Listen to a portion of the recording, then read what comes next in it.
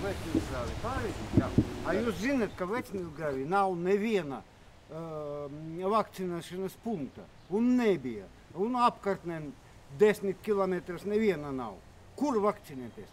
Ot bija autobus pirmā reize. Ja? Nu, es nu, tur nepaspēju. Es no 1. maija stāvu uz vakcināciju rinda. Ar šādu vecmilgrāvi iedzīvotāju viedokli lockdowna pirmajā dienā saskārās veselības ministrs Daniels Pavļuts, kurš uz apkaimi bija ieradies, lai popularizētu iespēju senioriem vakcināciju pret covid-19 pieteikt mājās. Vēlāk gan veselības ministrija de facto skaidroja, ka vecmilgrāvī vakcinācijas iespējas esot bijušas. Tāpat esot bijis arī vakcīnu buss, mājas vakcinācijas un plānojas konteineris. Šo kungu gan šī informācija acīm redzami vēl nebija sasniegusi. Nu, uztaisiet kaut ko cik vienu. Nu, paldies! Jums. Tieši zemā vakcinācijas aptvere riska grupā, gados vecākajā sabiedrības daļā, izraisījusi veselības aprūpes sistēmas pārslodzi. Savukārt tās dēļ šonadēļ valdība ieviesa gan nevakcinētos, gan arī vakcinētos būtiski ietekmējušus pārvietošanās darba un pakalpojumu ierobežojumus. Skaidrojot šo lēmumu, politiķu galvenokārt premjera Krišāņa Kariņa retorikā diezgan liels uzsvars tika likts uz visas sabiedrības atbildību. Ko katrs no mums esot darījis, lai pierunātu kādu senioru vakcinēties? Kritiski šādu nostāju vērtē krīzes vadības speciālists Kaspars Druvaskalns, kurš līdz nesenam laikam vadīja krīzes vadības padomes sekretariātu. Pārlikt atbildību uz sabiedrību nav, nav īpaši gudri, jo tā nav krīzes vadība. Tad jānoņem vārds vadība nost, jo tur netiek nekas vadīts. Tad. Protams, varētu būt situācija, kad, kā, piemēram, Zviedrijas sākotnējais lēmums, ja tas ir politiski apzināts, uh, ļaut sabiedrībai pašfunkcionēties, nodrošināt vakcīniem un tā arī pateikt, ka jūs, uh, jums ir šeit instrumenti un jūs darat kā gribat, informējot par tām izvēlēm. Ja tā ir apzināta rīcība, tas ir pieņemams. Tā ir normāla stratēģija, kur var izvēlēties. Bet, uh, bet tam ir jārēķinās arī ar konsekvencēm, uh, ko tad darīs ka tās sabiedrības izvēle varbūt nebūs pareiza. Druvas Kalns, kurš pēdējā laikā vairākās intervijās bija kritiski izteicies par valdības vilcināšanos, pēdējā krīzes vadības padomes sēdē piedalīties vairs nebija aicināts un no Covid-19 jautājumiem ir atstatīts. Cik viņam zināms, šādu vēlmi paudis premjera birojas. Pats Kariņš šo jautājumu tieši nekomentēja un aicina koncentrēties uz to, kas ir darāms tagad.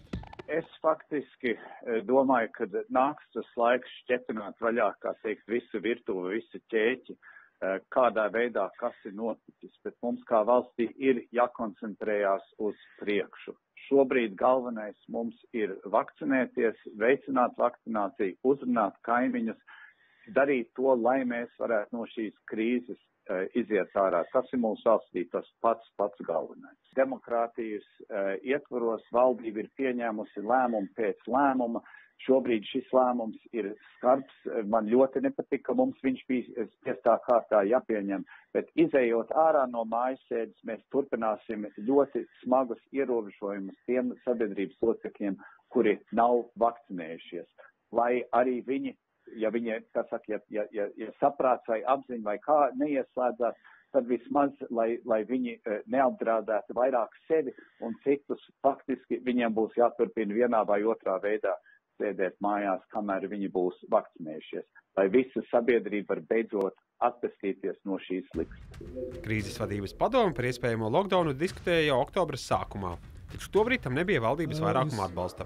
Tāpēc tika pieņemti vairāk ierobežojumi nevakcinētajiem un plaši noteikumi par masku lietošanu visiem.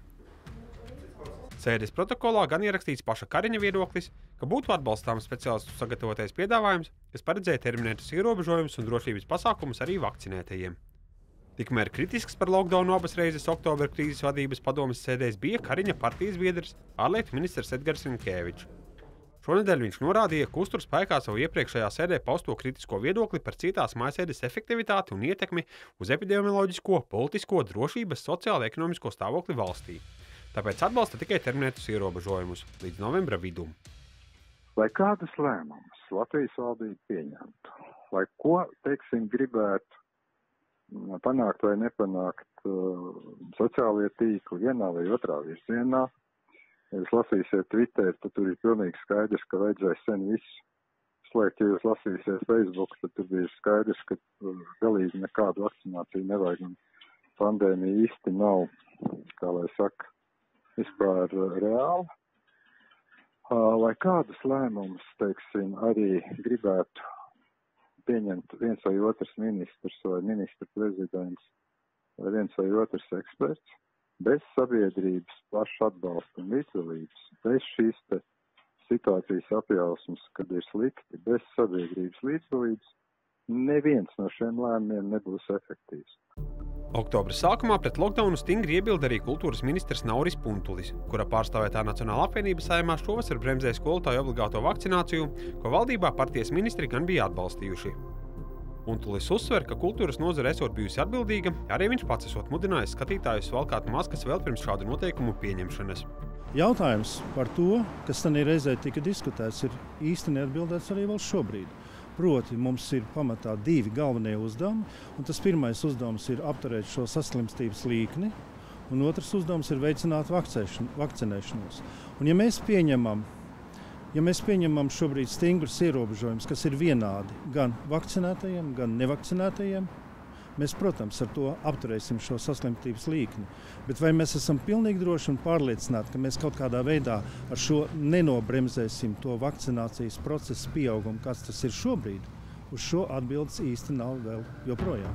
Tikmēr veselības ministrs Pavļuts, kuru šonadēļ par lēno vakcināciju gan publiski kritizēja premjeras, gan privāti pārmetumus izteikuši citi ministri, norāda, ka par Covid-19 ilgušo krīzi atbildība ir plašākam varas pārstāvju lokam. Visā šajā pandēmijas periodā veselības ministrija jutusies diezgan viena diezgan viena attiecībā uz to, kas ir darāms vakcinācijā, kas ir darāms pandēmijas apkarošanā, kas ir darāms slimnīcās, diezgan viena sabiedrības priekšā, pārējās valdības priekšā, citu ministriju priekšā. Tikko kā kaut kas ir slikti, tā veselības ministrija kaut ko nav izdarījusi. Man gribās jautāt, kas ir tas, ko ir izdarījušas pārējās ministrijas. Un dažas gods godam ir darījušas savas lietas un ir vakcinācijas aptver uzlabojusies skolās un sociālās aprūpas centros un citur. Bet ir lietas, kas nav izdarītas. Veselības ministrija nav viena pati karotāja. Mūsu vainos, mēs zinām, mūs jau vaino. Mēs darām to, ko mēs varam.